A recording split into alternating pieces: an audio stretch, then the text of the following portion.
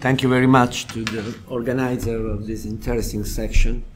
It's the occasion for me to promote the next IBGP meeting in Lecce, the International Work Group Paletta that we organized in Lecce in June uh, 19. It's the first time in Italy. And uh, I stand in this uh, seminar that we speak also about charcoals. And uh, I want to remember that in the same year, we have the next uh, international anthracological meeting in Liverpool, organized by our colleague uh, Eleni Asouti. So the next year is the archaeobotanical year. Okay. um, my presentation regards in particular uh, um, the archaeobotanical analysis uh, in Sicily. Uh, is a good uh,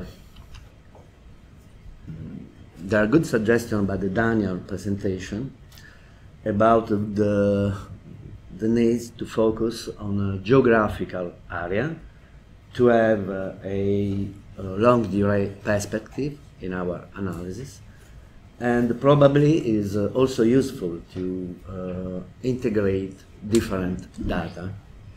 If we can speak about revolution changes, we need to make this type of uh, approaches. The focus of my uh, presentation regards Sicily is one of the most important area connected to the Islamic invasion, Islamic world uh, in the Mediterranean. And uh, uh, so we try to organize our database in relation to other archaeobotanical database, in relation to other archaeological and archaeozoological data that regard this region. This is the typical archaeological framework uh, regarding the western part of Sicily. Our uh, um, contribution is integrated in uh, uh one uh, uh, ERC grant directed by Martin Carver. The, the grant is named Sicily in Transition, and this is the typical diachronical perspective in the study of a region, and we have a, uh, the integration of different type of data. For the archaeological data, we are focusing on the western part of Sicily, um, in particular the area of Palermo, Mazara del, Vallo, del Vallo, and uh, here you can see the different uh, uh network from the 10th to the 12th century uh, in relation to the, in particular to Maghreb and Africa. This is the first uh, preliminary data on archaeological analysis. We are focusing on the Mazara del Vallo because it's the most directly connected to the Maghreb, so we have the possibility to, uh, to see the, uh, the contact with the African continent. The first archaeobotanic uh, archaeozoological data of uh, Mazara del Vallo show differences between the Islamic uh, and the Arab period and the Norman period. In particular, we can see the use uh, of uh, sheep goat uh, remains and a strong taboo related to the pig in the Norma, in the uh, Arab period that we don't find in the Norman period. The same uh, differences we can see in the width of the ships. For example, changes in the dimension, weight of the ship's goals. This is a change uh, very important because uh, it's connected to the um, a strong uh, intervention in the reproductive uh, system of animals.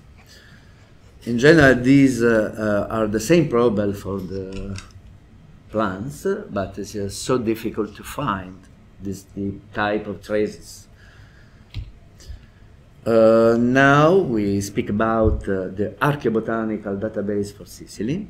This is our general uh, framework for the archaeobotanical analysis. And my presentation regards the Mazara del Vallo analysis because we have a longue durée occupation and we have traces uh, of the 10th uh, just to the 12th century century. There are preliminary analyses, but for us they are very important to conceptualize uh, the problematic on the Islamic presence in Sicily.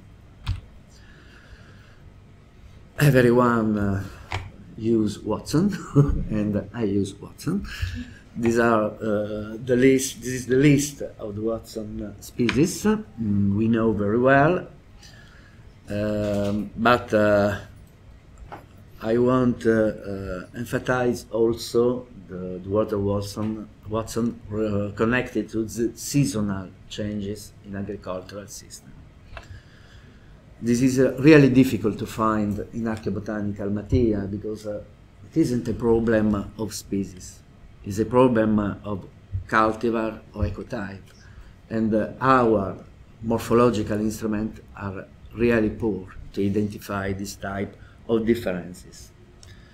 The, the importance is to find good archaeological sites where we have uh, good material with morphological uh, characteristics to well preserve it because our aim is to arrive to vari varietal differences if you want study this revolution okay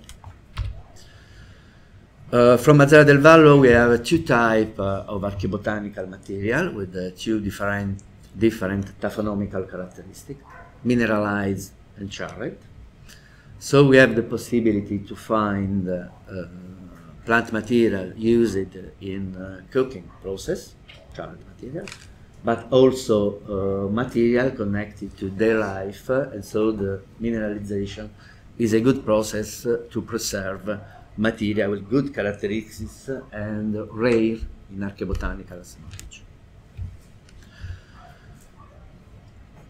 We start from the cereals. We have the list of uh, uh, cereals found in the, in, uh, found in the Mazara del Vallo pits. And uh, for example, regarding the triticum, the weight, uh, we have the problem to identify durum weight from other weight. For, mm, for this type uh, uh, mm, differences, the literature speak about the characteristics of Rhachis fragments and when we found Rhachis fragments, we arrived to identify durum from aestivum. But the problem is uh, seasonality. The problem is not to identify durum or aestivum. We find this type of remains from the Neolithic in Mediterranean area. The problem is uh, to check if we find other type of a characteristic, morphological characteristic, to arrive to identify variety, ecotype, cultivars. This is the real revolution for archaeobotanical analysis, I think. Our instruments uh, are uh, to the beginning, but uh, for example, this type of uh, segments show trichomonas uh, elements, show uh, the markings, longitudinal markings that this characteristic, we, uh, we can use this characteristic to arrive to varietal identification. I want to remember that in Oasis, in Sahara Desert, now we have the selection of variety, the, of weight, club weight, particular weight, they are typical of desert area because they have a good tolerance to the dryness. But our problem is to arrive to identify this material in archaeobotanical assemblages. Now we, we go to the tree fruits. Mm, is another important uh, type of plants for the, connected to the Islamic words. Here you can see, I show you citrus fruit, marked by Watson, and uh, peach, Prunus persica. Also in this case, uh, for example in Mazara, we find other tree fruits, pomegranate seeds. Also, pomegranate is connected to Mediterranean world, but uh, it's important to find the um, a database, a complex database, the um, all the tree fruits uh, all together, because there is a signal of fruit culture, not the single tree fruit. This, I think, is important to to work with absence and presence and uh, um, the big database. We find also pitch and, uh, for example, citrus. Also for citrus, uh, uh, the problem is not the first presence of citrus. We find this is the um, a book connected to the uh, one project uh, on the citrus fruits in the Mediterranean area. It's a, a big project with some colleagues from French. But we find citrus fruit from the Roman period and from the pre-Roman period in Mediterranean area. So the problem is not the presence of citrus, but the use of citrus and the strategy for the cultivation of different species of citrus. And for this, it's really difficult. All the colleagues that work on citrus fruits, citrus seeds, know very well uh, what is difficult to distinguish the different species. It's not easy. Also, to arrive to the citrus uh, definition is uh, difficult. And uh, another important group of plants are the vegetables, because uh, one important, in Mediterranean area, one important revolution is horticulture, is the cultivation inside gardens. So this is connected also to irrigation, to the use of water in uh, particular manners. In the Mazara del Vallo, we, we find watermelon, Colocynthis watermelon, different type of cucumber melon, and other uh, uh, species that we can see now. In particular, for uh, cucumis, we have different uh, uh, seeds of cucurbitaceae. The richness of the variability is important because it's uh, the signal of a control of a horticultural agriculture. This, this is also a seasonal signal. We find also spinach, is uh, probably is uh, the second attestation spinach that we find. It's difficult to find because there are seeds that we can find also in mineralized status. We found also probably um, Solanum melongena. Mm, also in this case it's difficult to arrive to the determination of species. We arrive to the genus but uh, it's really difficult uh, when we uh, work with mineralized seeds to arrive to the species definition. Also in this case, we, with air today, we have different attestation of aubergine. But uh, another important attestation in Mazara del Vallo is the cotton plant. The presence of cotton plant uh, is connected of the use of this plant not only from uh, use of oil, but in particular for the fiber use.